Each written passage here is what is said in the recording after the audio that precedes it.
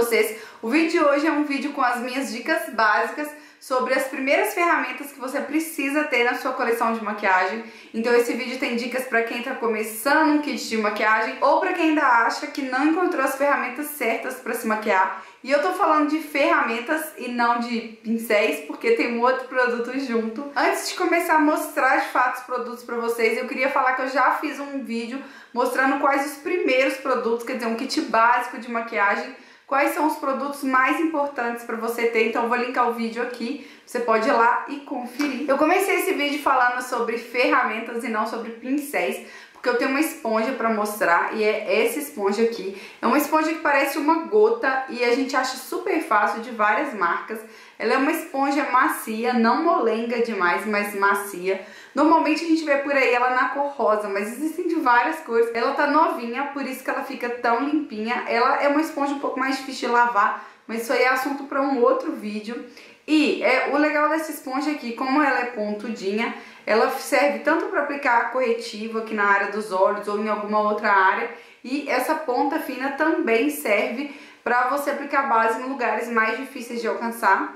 A parte redonda a gente usa pra aplicar base no rosto todo. Eu já fiz alguns vídeos me maquiando aqui no canal usando esponjas desse tipo. Então eu vou deixar algum link por aqui pra vocês conferirem. Dá pra usar a esponja seca igual ela tá aqui, mas o ideal dessa esponja é usar umedecida.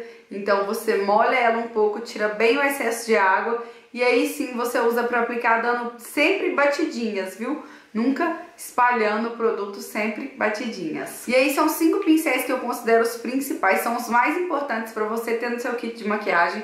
Então se você está começando agora, invista nesses e depois você vai procurando pincéis diferentes.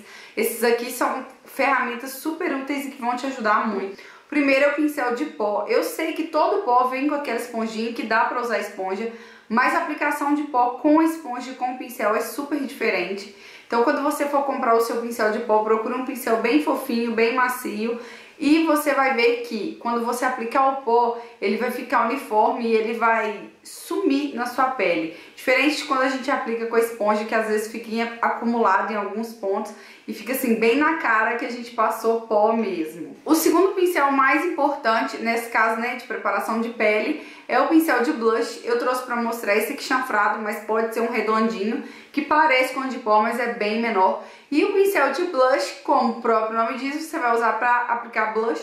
Então você vai usar ele né, nas maçãs do rosto, né, na bochecha você também pode usar ele para fazer um pouquinho de contorno. E você pode usar a pontinha dele para aplicar iluminador. O, todos os blushes costumam vir com uma esponjinha igual aquela de aplicar sombra. Quando você faz com aquilo, fica bem manchado, bem marcado. O efeito não é bonito, então vale super a pena investir num pincel assim. E esses pincéis, eles não são caros. Os de pó e blush, por exemplo, você acha entre 10 e 15 reais de marcas boas. E aí tem três pincéis de olhos que eu considero assim, que são os principais. Se eu tivesse só esses três, eu conseguiria fazer uma maquiagem bonita tranquilamente. O primeiro pincel é o pincel de aplicar sombra e ele é assim, achatado, tem as cerdas bem macias. E esse pincel vai te ajudar muito, porque você vai conseguir depositar a sombra nos seus olhos. Você vai conseguir também deixar um efeito mais esfumado nessas sombras, menos marcado do que aquela esponjinha que vem nas sombras mesmo, costuma deixar. Mas acho que hoje em dia várias marcas já nem mandam mais aquelas esponjinhas, né, aqueles palinetes nos estojos, nos estojos, porque já sabe que a maioria das pessoas não usa, que todo mundo está é, super adaptado a usar pincéis como ferramentas de maquiagem. Outro pincel super importante, esse aqui é de acabamento, é o pincel de esfumar.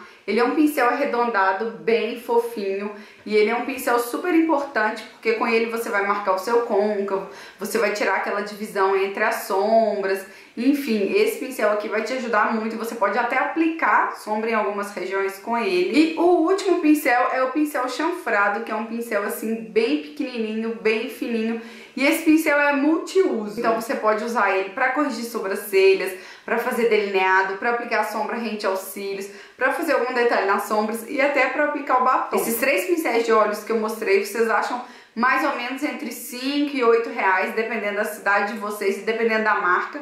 Mas você encontra boas marcas por esse preço. Bom, então esses cinco pincéis junto com a esponjinha formam as seis ferramentas que eu acho que são principais para quem está começando a se maquiar ou começando a montar o seu kit de maquiagem.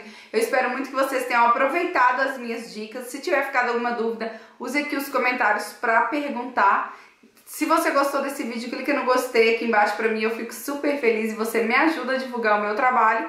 Se não está inscrito no canal, inscreva-se, seja muito bem-vindo por aqui. A gente sempre tem muitas dicas de vários assuntos. Um beijão e até a próxima. Tchau!